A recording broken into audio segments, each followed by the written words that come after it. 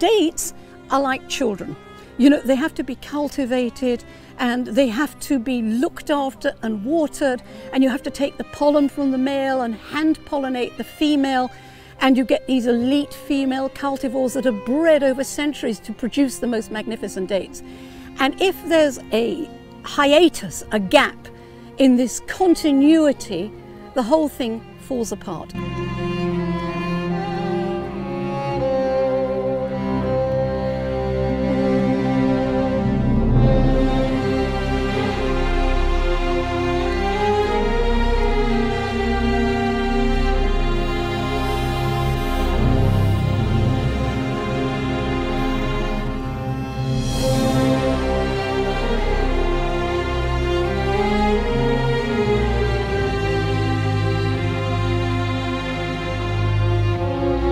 Sarah sent me these seeds and then she said, they're from Masada. So I said, oh, that's nice.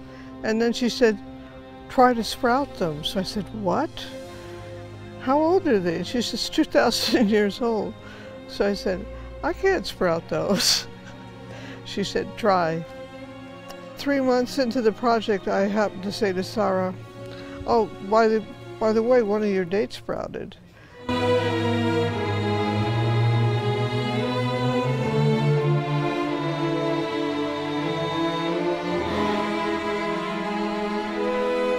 Nature has tricks up its sleeves and it can let its seeds stay dormant for thousands of years and we think it's gone extinct and boom, it takes a pair of golden hands like Elaine's to bring it back to life.